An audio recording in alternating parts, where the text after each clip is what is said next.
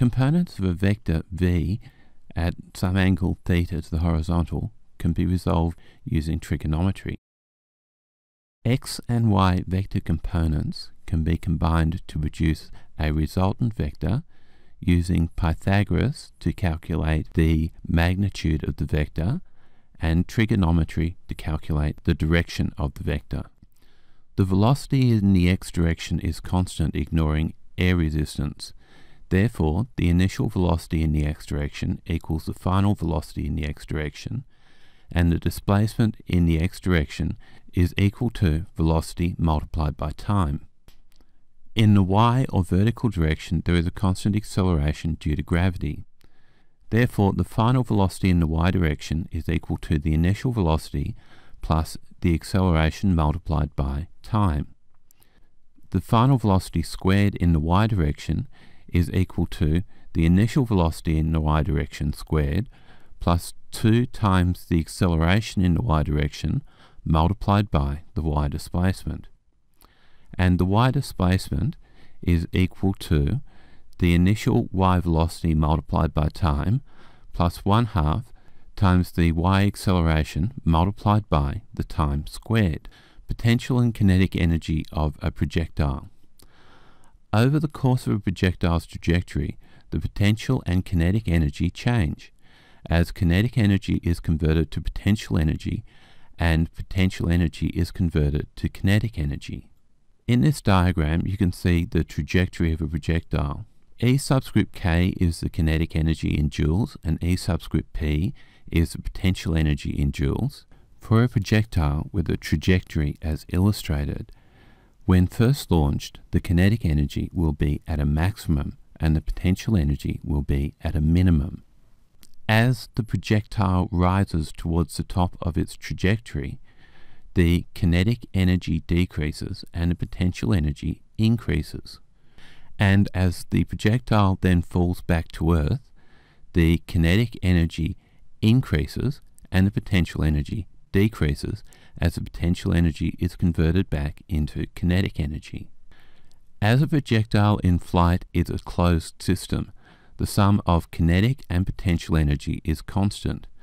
So the sum of the initial kinetic and potential energy is equal to the sum of the final kinetic and potential energy. At any point in the projectile's trajectory, the sum of kinetic and potential energy will be the same.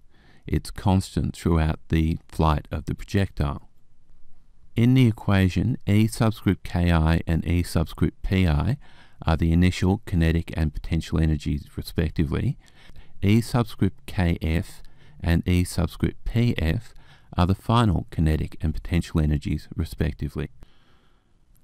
For a body in space, or two bodies separated by a long distance, gravitational potential energy E subscript P can be calculated using the formula E subscript P equals minus capital G M1 M2 on R, where capital G is the universal gravitational constant, M1 and M2 are the masses of the two bodies in kilograms, and R is the distance between the centres of mass in metres.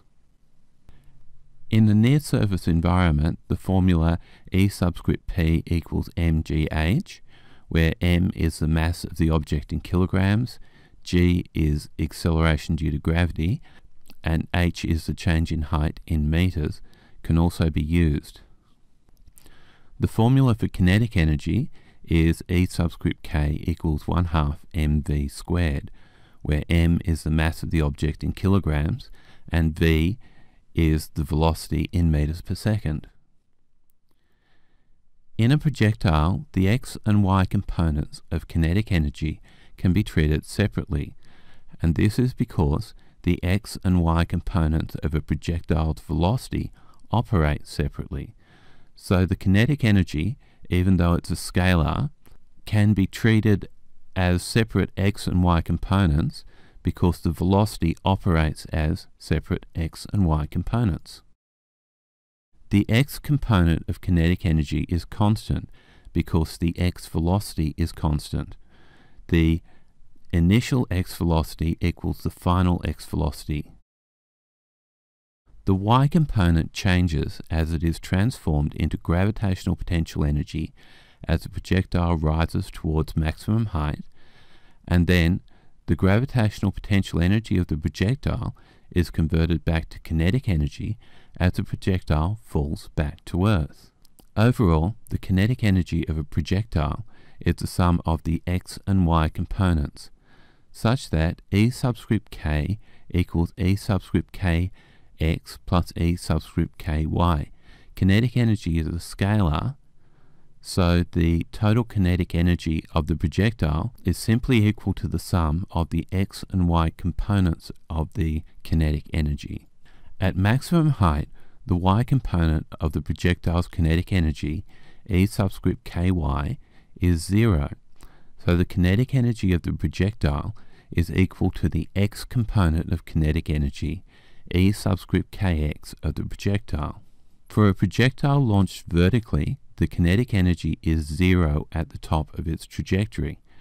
Because the projectile is launched vertically, the x component is going to be equal to zero, so at the top of its trajectory, if a projectile is fired vertically, the kinetic energy of that projectile will be zero.